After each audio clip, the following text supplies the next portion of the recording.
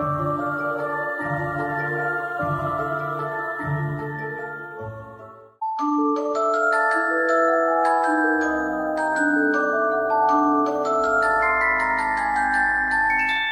hello, it's Jodie and welcome to Vampathon Day 3. Not sure how this vlog's to go again today either because it is now like 12 or 1 and I haven't really done anything today or filmed anything but I do have some reading updates. Last night I finished Vampire Academy.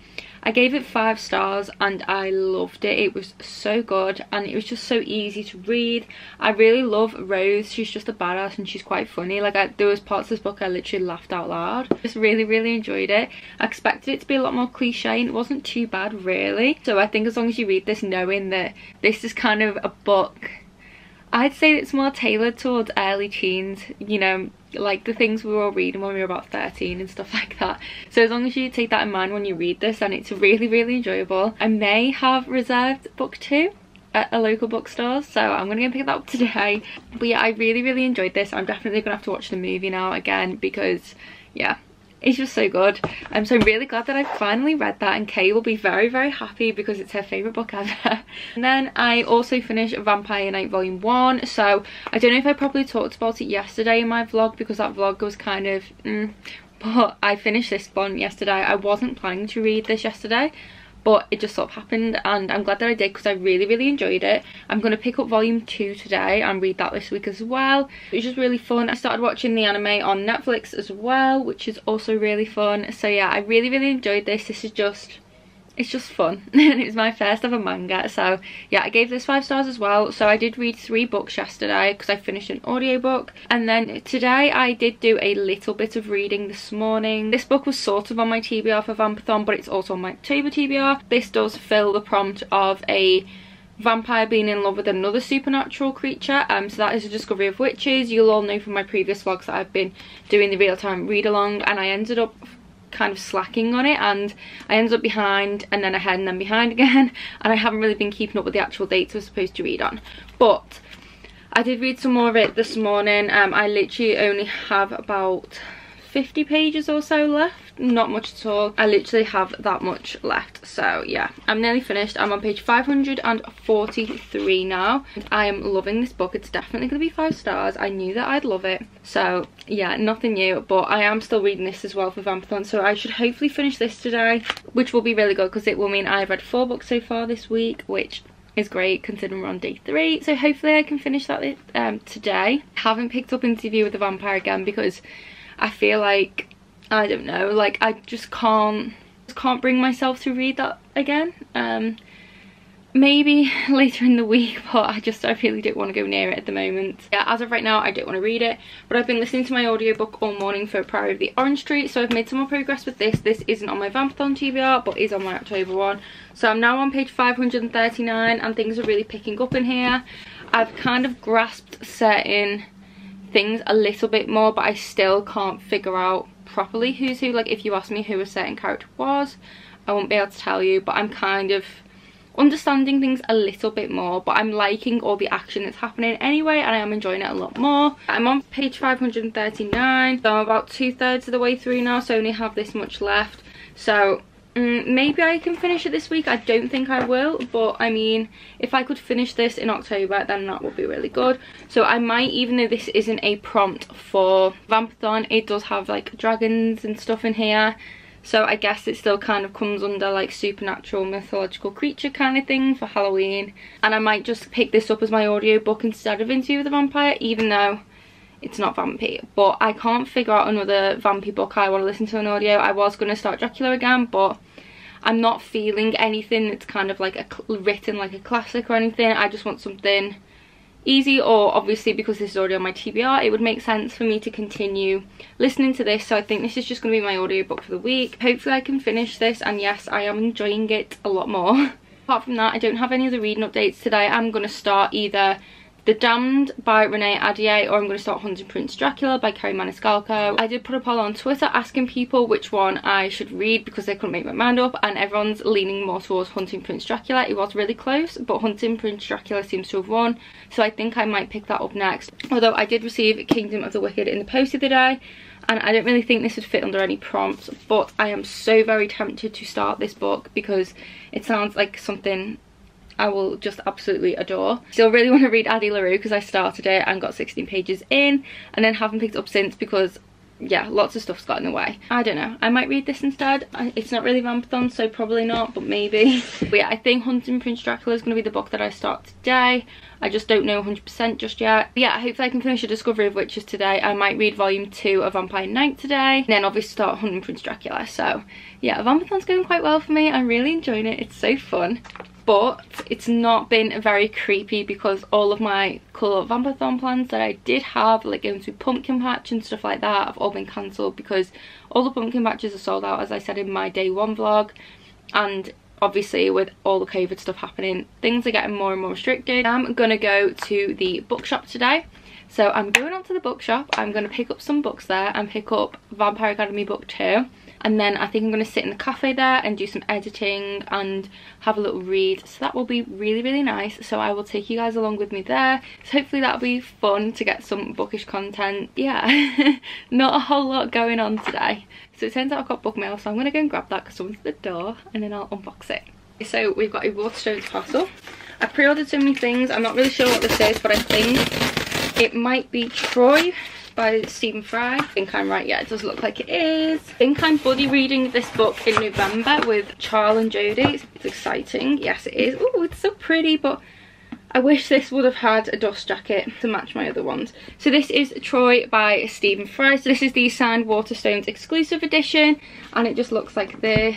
The tiniest, that is the tiniest signature ever. Oh my god, that's so funny.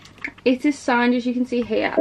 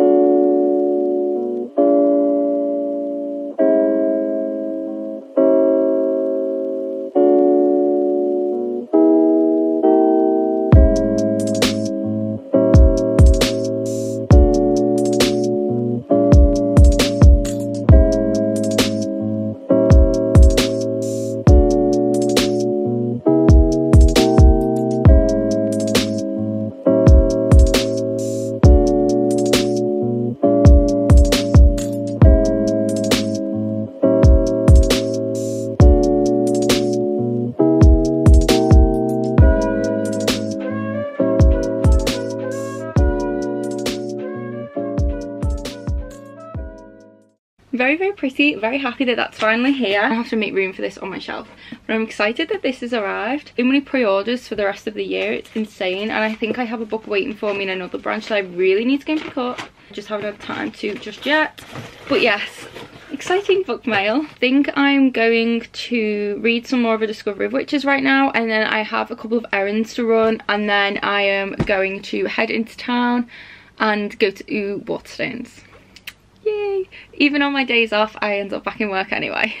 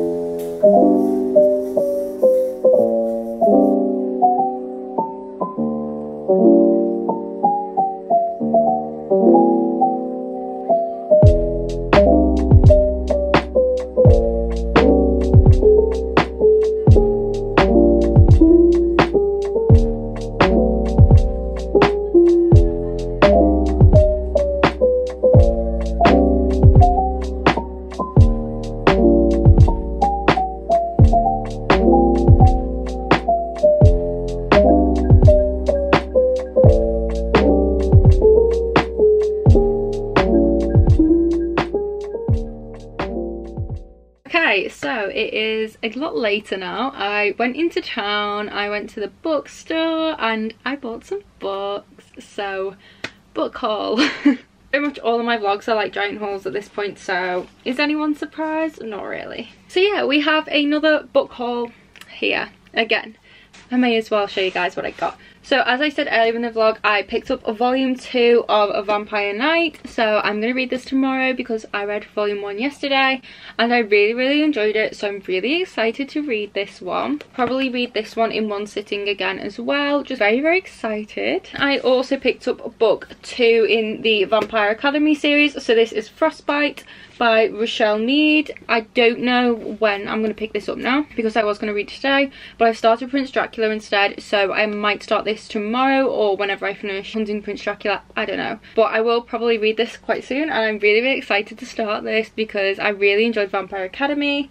So yeah, I just had to pick up the next book. then the next book is a book I'm really excited for. I've had it on my list for a while and I just took the plunge today and I got it. So this has the most beautiful cover and it looks like this. It is absolutely stunning. This is my kind of book and this is the Virago Book of Witches. This is literally a collection of short stories all to do with witches. So there are over 50 stories of crones and nixies, shapeshifters and beauties including the loving fox witch of Japan, Italy's witch bewitch, Scotland's good wife of Laggan, Biddy Early and the terrifying Kali. Then there is Baba Yaga who comes in many forms down through the ages to haunt, entice, possess, transform and challenge. Every corner of the globe bequeaths us folklore and legends about women who step out of line and become banshees. Howling Night Witch and Harbinger of Death. It's just loads and loads of short stories all about witches throughout history, mythology and stuff. You all know I love my witchy books, you all know I love my mythology, so this book was naturally going to be bought by me and I'm so so excited. Like I can't wait to read this. I might start this this week as well. But yeah, it is beautiful and I'm very very happy I finally bought it. Then next is a random purchase I made today. So I think I saw this online but I just thought this is perfect. Vampathon I've got to buy it. So this is the cult classic that inspired Dracula and this is Sheridan Le Fanu Carmilla. I'm sorry if I pronounced that wrong. But this basically, I think this was written 26 years prior to Dracula. So this is like the original vampire story and it's quite short it's like only 100 and something pages 155 pages long this is just carmilla and i'm very very excited to read this it'll be really really good if i can squeeze this into my tbr for vampathon because obviously it's perfect for vampathon and it's quite short so hopefully I can read this. If not, I might download the audio and let that replace Interview with the Vampire instead. But yeah, I'm very, very excited to read this and the cover is so, so cool. I love it. Then next we have another random purchase. So this is the sequel to a book I haven't read yet, but I picked up last month I think it was, and I do plan to read it soon. I'm going to use my awful excuse it, but it was there so I bought it. Whenever I see a hardcover that's a US import I never really like to not buy it because quite often eventually it does become unavailable because it is a US import so I always try to get them when I can. So the book I'm talking about is Jennifer L. Armentrout's Rage and Ruin. So this is the sequel to I think it's Storm and Fury, yeah, to Storm and Fury, which I haven't read, but this is a YA fantasy, and it has like a half angel in there and stuff, and you all know I love my angel stuff, so I'm very excited to read the first one, and then obviously I now have the sequel, and I just didn't want to pass this up, Plus, I wanted to get my full stamps on my Waterstones loyalty card, so I needed something to bump it up a bit, so this was the book. How cool is this cover? Like, love it. So cool. Then lastly i picked up this book so i did start the audio for this book um last week i think but i'm not far in at all. I'm like a chapter in. This is a book i've been eyeing up for a while and it's right up my street You'll know as soon as you see it. This is the history of magic from alchemy to witchcraft from the ice age to the present and this is by Chris Gosden. Um, and this is literally exactly what it says on the tin. so alchemy, witchcraft, all kinds exactly the kind of stuff I like to read about. Yeah, I have started this and I'm very, very excited to read it. I'm trying to read a little bit more non-fiction, especially when it comes to witchy stuff. And I love this cover as well.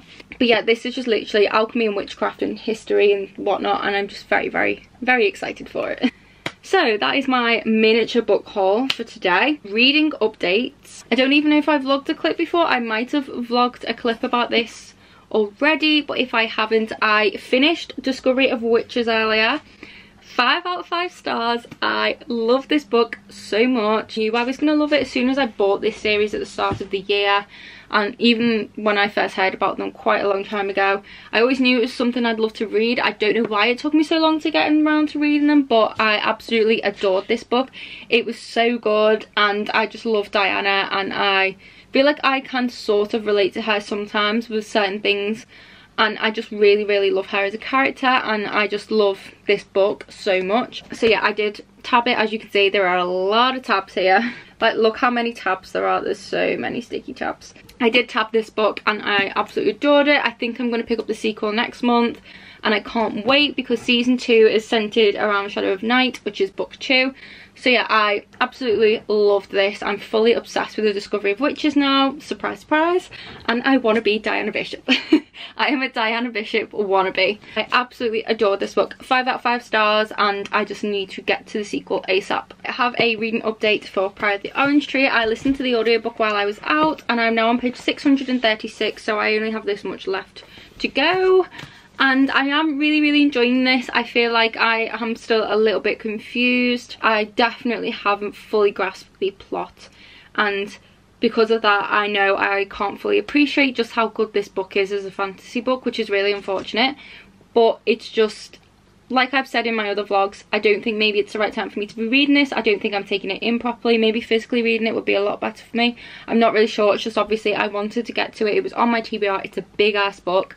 I needed to do the audio. So I think I might come back to this like in the future. But for now, I am enjoying it a lot more than at the start. I just kind of, I think I zoned out for like a chapter while I was out and now I'm sort of um, I feel like I've missed something important but it's too late for me to go back so yeah I am really enjoying it a lot more and I'm hoping now that I only have that much left I can finish it this week before October ends I'm definitely enjoying it a lot more I'm loving all the like badass females that are in here and the dragon stuff so cool um, and I also like the female and female romance. But yeah, I am enjoying it. I just, like I said, I'm still a little bit confused and I haven't fully grasped the politics, the characters, the plot, just everything. I haven't got a good enough grasp on to really appreciate this book but I am still enjoying it no less and yeah I'm hoping I can finish it this week I think I have 200 pages left give or take so I mean I think that's doable it's like five hours of audio so hopefully I can finish this in the next couple of days even though it wasn't on my Vampathon TBR it was on my October one so